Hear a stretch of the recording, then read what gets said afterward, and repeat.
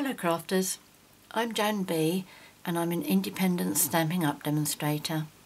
Today I'd like to show you how I made this card. I showed it on my blog recently um, and I had a lot of positive feedback about it. I wasn't planning to do a video because I think it's rather fiddly um, but I thought that I would make one and I would leave you to decide for yourselves whether you think it's too fiddly to do. So I'm going to start off with letting you know the card pieces we're going to need. I'm changing my colour, I'm using Lost Lagoon today. Um, so the card base you need is Whisper White and it's 8 and a quarter inches by 5 and 3 quarter inches, scored at 4 and 1 eighth and folded and that is 21 centimetres by 14 and a half centimetres, scored at 10.5 centimetres and folded. Then there's our Lost Lagoon layer, and this measures 4 inches by 5 and 5 eighths inches, which is 10.25 by 14.25 centimetres. Then a top layer of Whisper White, which measures 3 and 7 eighths inches by 5 and a half, which is 10 by 14 centimetres. Then we have a piece of DSP, which is the Wildflower Fields Designer Series paper, which at the moment is available as a free gift during Sale-A-Bration. For every uh, 40, for every £45 you spend, you can choose a free gift out of the Sale-A-Bration catalogue. Um, if you don't have your copies and you don't have a demonstrator, please get in touch and I'll be happy to send them to you. And the other cardstock you're going to need is you're going to need um, some scrap of Whisper White for the kettle and also for the flowers and you'll need some scraps of old olive for the stems and the leaves. The first bit we're going to do is the kettle, uh, the teapot. I'm calling it a kettle because that's what Stampin' Up have called it. Um, I imagine that's what um, it's called in um, North, um, no, in the States. Um, over here we would call it a teapot.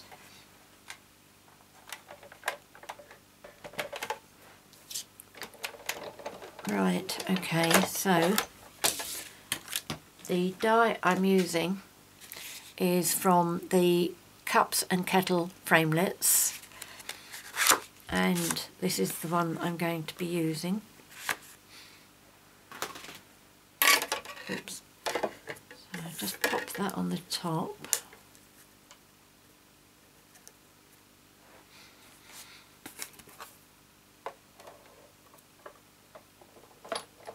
And then just run that through.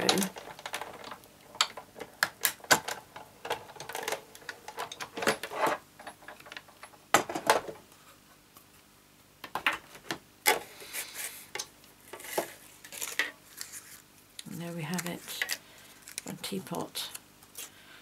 One teapot lid all beautifully cut out.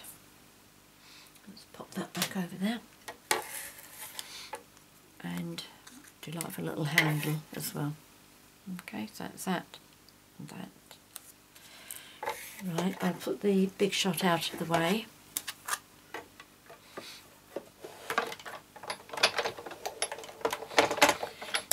That's the only job we needed that for for this one.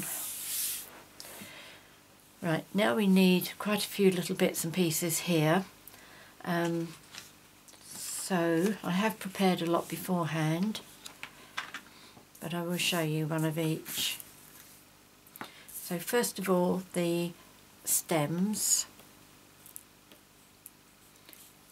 Oh, looks like I've already got five of those. Never mind, I'll still show you what, what I do.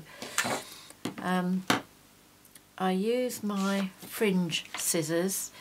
These aren't actually the Stampin' Up ones. I had these before Stampin' Up brought theirs out. Um, and I haven't really got around to buying some new ones. It seems a little bit extravagant really. So what I need to do is I'm just going to slice down here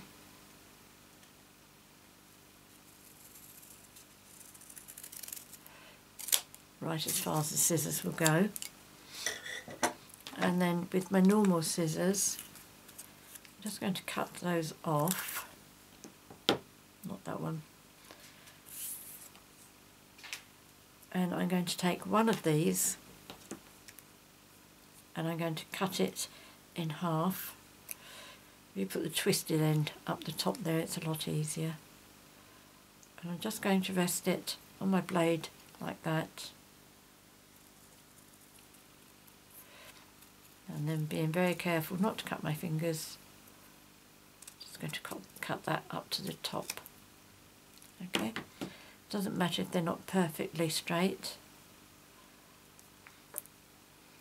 But the others I will keep for um, future cards I do. So let me, how many do I need? Five. Five. Okay. Uh, oh, I've already got five of the these as well. Um, that's what that was going to be for. Um, I won't cut any more, but I used my um, Bird Builder punch for my branches. And what I do with these, because when they're punched, they all look as if they should be laying down that way. Because they've got that like curved edge going downwards.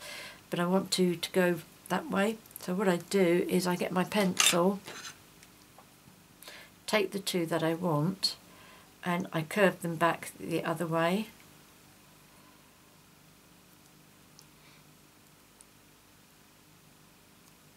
mean visually you know there's like a right side and a wrong side to um, punched shapes and this just helps to make it look more like the right side just by curling it over.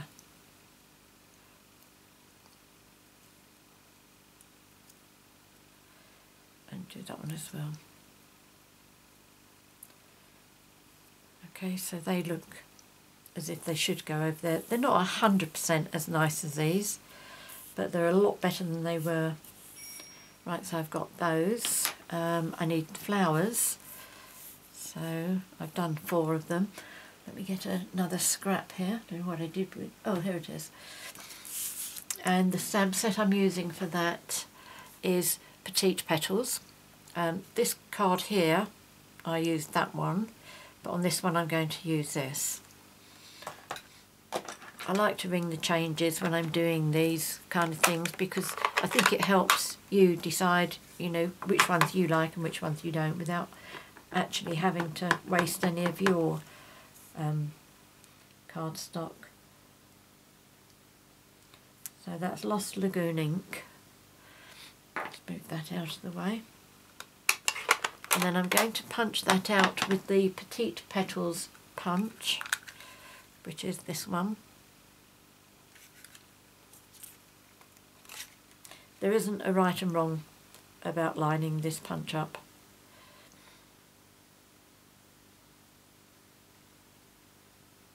Just line it up and that's fine.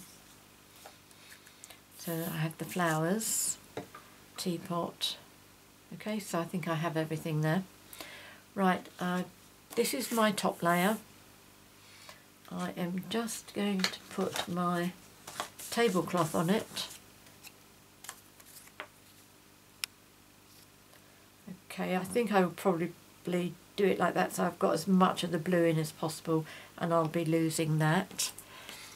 And my teapot will be going on there a little bit. And I am going to try and make sure that's nice and straight. And then I'm going to draw a little line just across the top. So that's the start of my teapot and that's the end of it and that's where my line is. That's just so that I know to make sure all my stems go into that entrance part. And what I do is with, oh no, these are my five, aren't they? What I do with these, and if you do use um, the uh, fringe scissors, you will find that these do tend to curl. Not the end of the world. A tad bit irritating, but that's about it. Right, okay. So, I put my five down. This is the fiddly bit. You have to judge where you're going to be putting everything, otherwise you could finish up with all your flowers sitting on top of each other, which is something that you really don't want. So the first thing I do is with my flowers, now that's the tallest one, the one in the centre, so that one's going to go there. Oops. And then, um, how have I done this? That one is more or less touching. So I'm going to have to move that over slightly. That'll be about there. And this one is almost underneath that one. Okay, so I'm just making sure that all my stems are coming in. That's close enough. And then this one comes at a normal, what I would say normal sort of diagonal, diagonal line down. And then the little one. And that one, I want it to come lower than this one. Okay, so first of all, I'm going to adhere those down. And yes, I do have my silicone mat and you can use whichever glue you prefer to use. I'm going to be using Tombow and I'm going to move that one out first and just put a tiny tiny bit. If you want to use snail on this you can do or um, the very very fine tip glue that we have or you could use fuse um, but as you know I do prefer Tombow and as long as I have my tweezers with me which I can't see at the moment um, oh here we go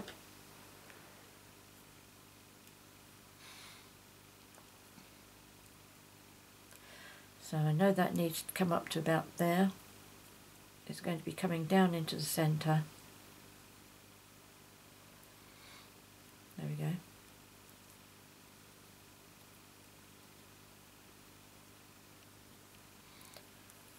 Right, so the next one will be this piece here.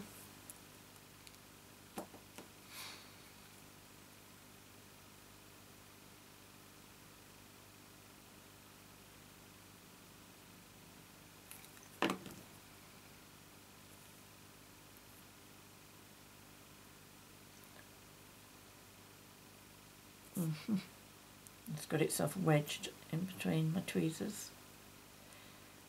Okay, so that one's going to be right.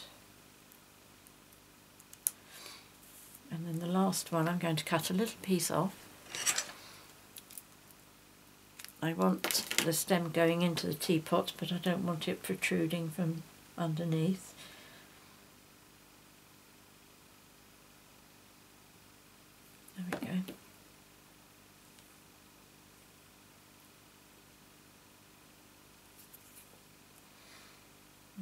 be about there. I just keep checking my flowers as I'm going just to make sure that I'm still on target. Right now this one's going to be the one that's um, touching the top flower. So I need this one still to be quite long.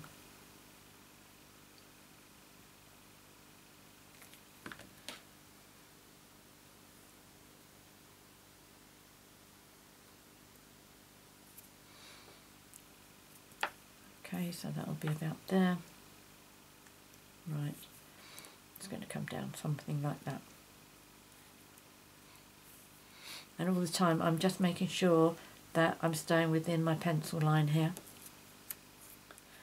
And this one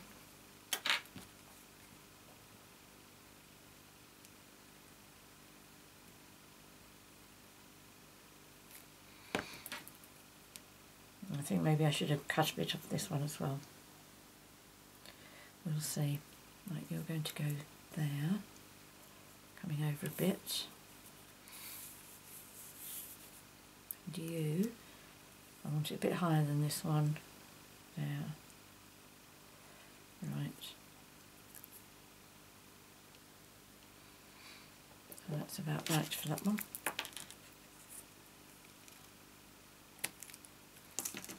It would be easier to cut that one before you start gluing it down. Right, so we've got those pieces. Now we're going to do these.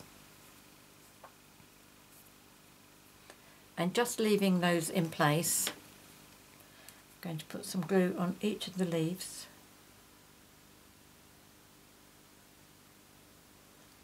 And then a little bit down the stems.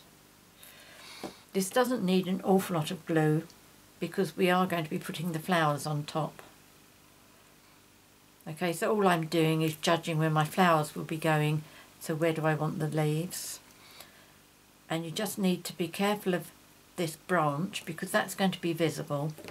So what I do is once that's down like that, I just try cutting it up straight by the stem so it looks as if it's actually joined onto the stem. Okay, we're going to have another one of those. Oops, get off. Um, I have that one there, that one. Now I want one to come over this side. So that's one of these.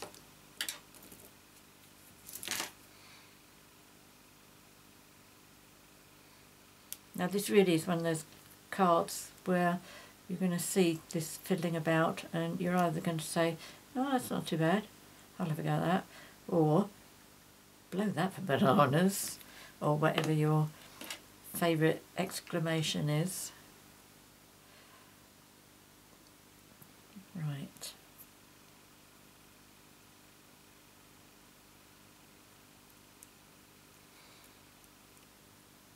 There we go. So that one's going to be coming down. That one's going onto that stem, so that's alright. And flower going to be coming onto that one. Right, so that's quite going to be quite a good flower arrangement, I think.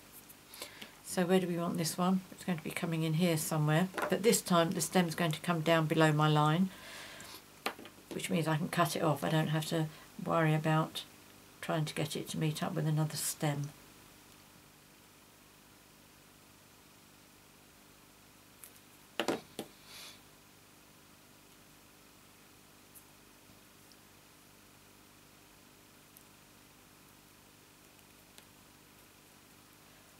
There we go, that'll be fine.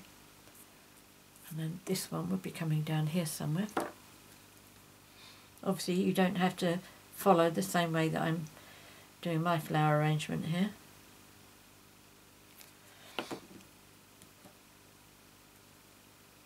Right, now that one.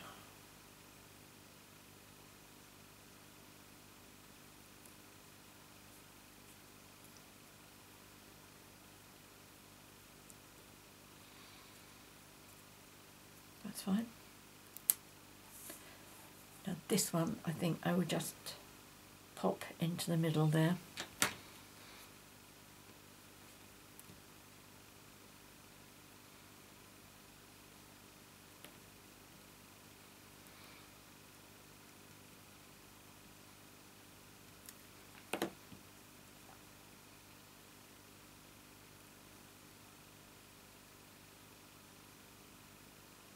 Let's just move that one out of the way.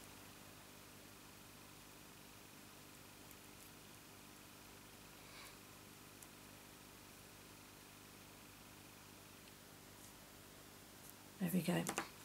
Then that's my flowers, or at least all my stems and my leaves arranged. So next I'm going to put my, oops, I'm going to be losing my flowers at this rate. That's it, I've got the five there.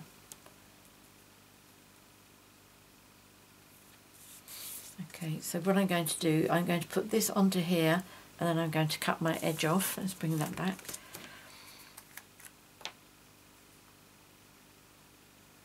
As you can see, this um, designer series paper does have some more plainer designs if you don't like such a fancy tablecloth on your card.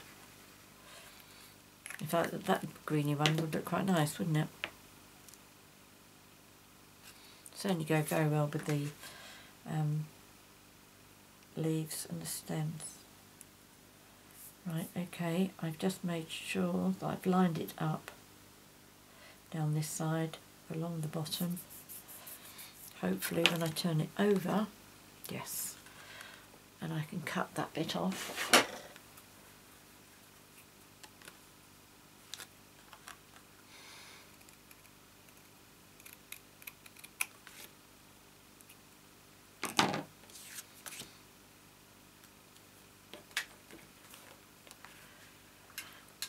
Right, now I'm going, oh, I'm going to remove my um, pencil marks.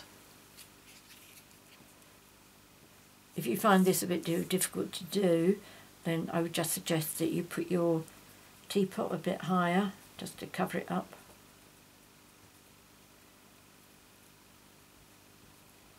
Um, I think this is coming off okay.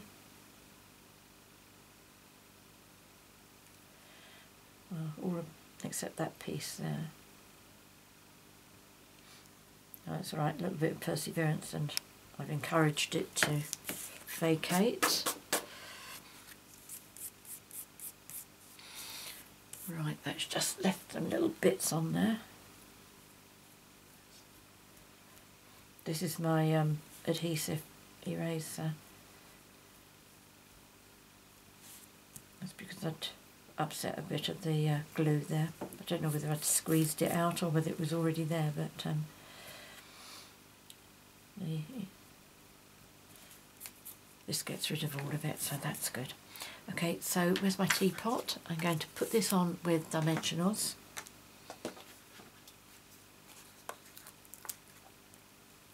Oh, no, I'm not. I've got to stamp on it first. Oh, I'm glad I thought about that before too long. Right, let's pop that back down.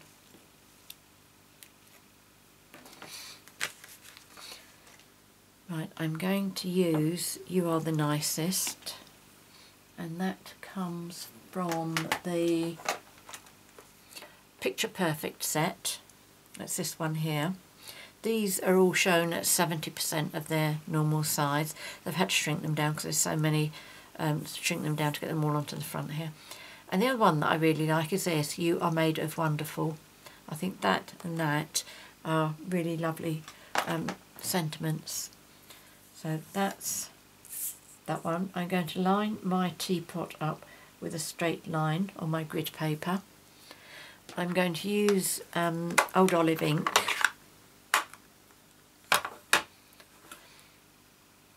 And I find that because this is photopolymer, and I've lined this up with a straight line then I'm going to line up the UR at the top there as a straight line as well.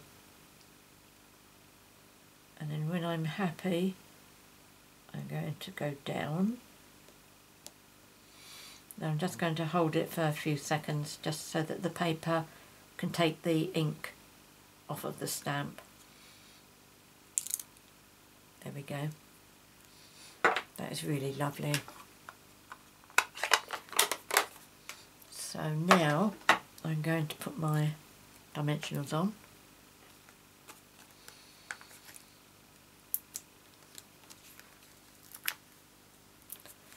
I'll have four as part of the main body of my teapot but I also like to have something on the spout and the handle and on this one I've got this thin bit here and what I did down this side in fact let's do it again so I can show you. Um, here we go. I just cut down here very thinly.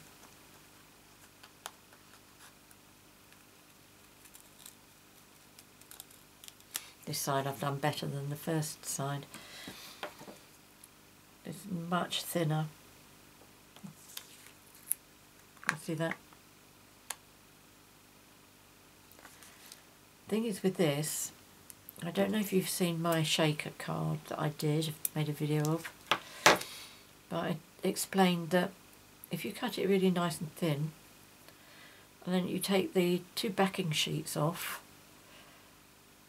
the dimension will become very, very pliable, and it is just so easy to pop it down and make it go around corners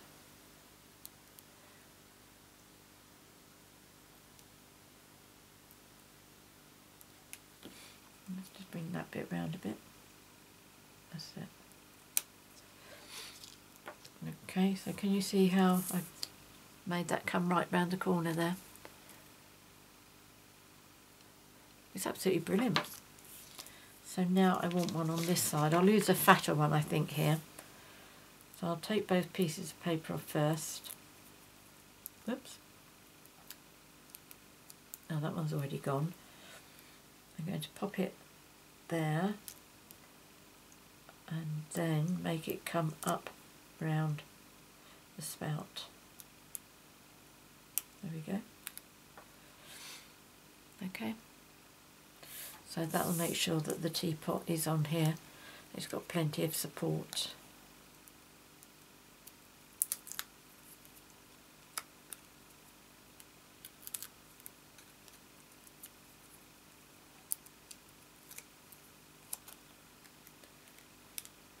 Right.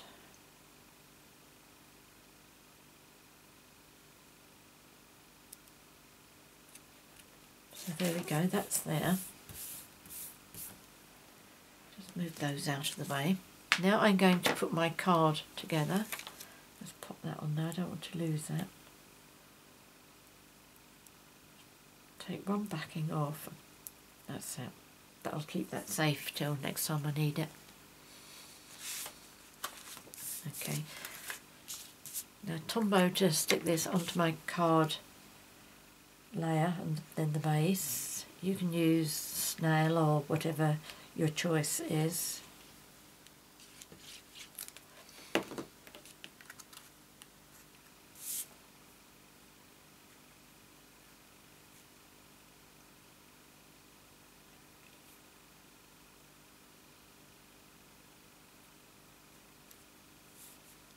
There we go.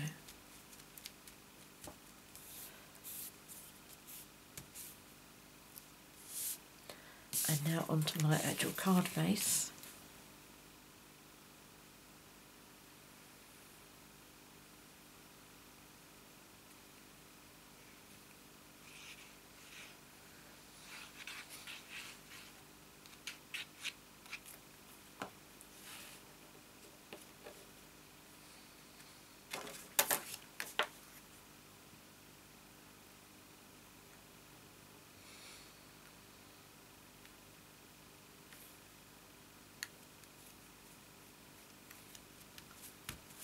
There we go.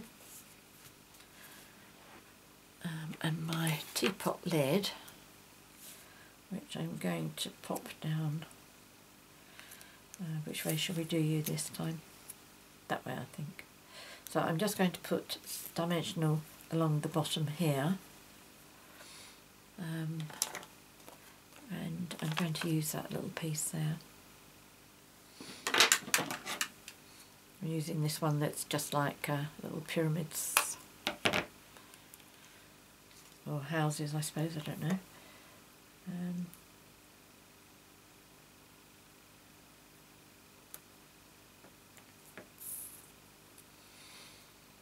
so I've left the top free so that that can just sit on this bit which is already elevated. There we go. Um, what, oh, flowers next. And what I'm going to do is I'll use my paper piercer. You may like to use your um, piercing mat for this, but just to give your flowers some dimension.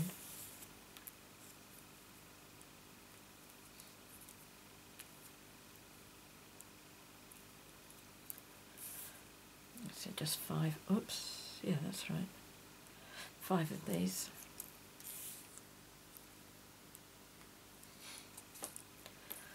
I'll tip them upside down because then I will put just a little bit of Tombow on them.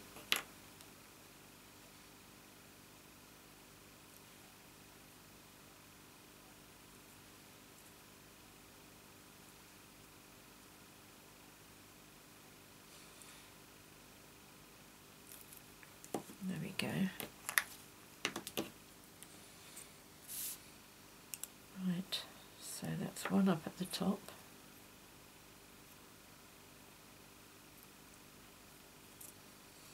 One coming down by the side, just about touching.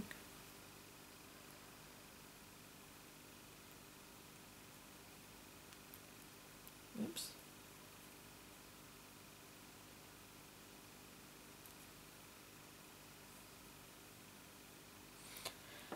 That's sticking on me more than it is the, uh, the Tombow sticking on me more than it is on the flower.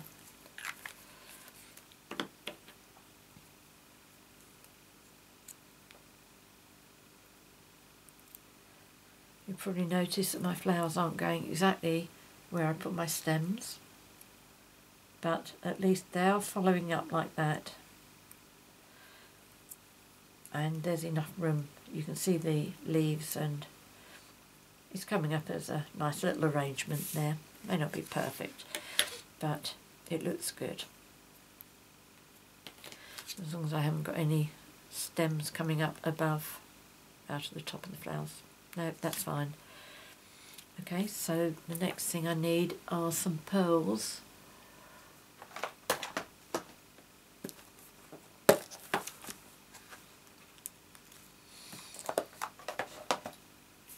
So I'm going to use the medium size. No, I think I'll use the bigger ones for this. What did I use? Yes, bigger ones.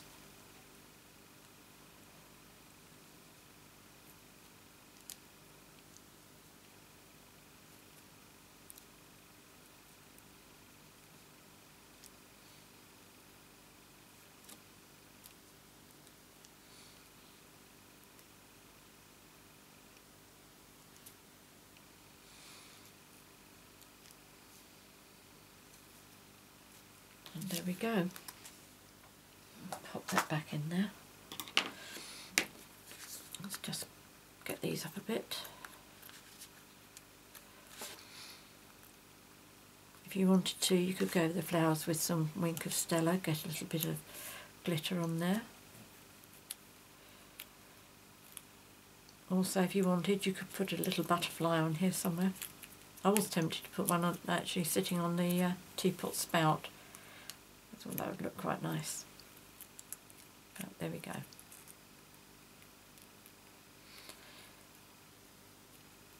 Alright, so there we have it. That's today's card. That's the one I introduced you to at the beginning. Um, I have two more. This is one where I used the small flower, which comes from, um, the stamp is from Pictogram, Pictogram Punches and the punch is the little flower punch from the Itty Bitty Accent punch pack. And the last one where I combined the two flowers is this one. Um, and I used one of these type flowers, the spotty one, and I used this in the centre and finished up like that, which I think is quite nice. So there you go. Was that too fussy for you? Um, I'd be interested to have your feedback. I hope you like it and I hope you really think it's worth give it a try. Um, many thanks for watching my video. If you have any questions, please ask. I'm always very happy to help you. If you've enjoyed my video, please subscribe to my YouTube channel by clicking on the subscribe button.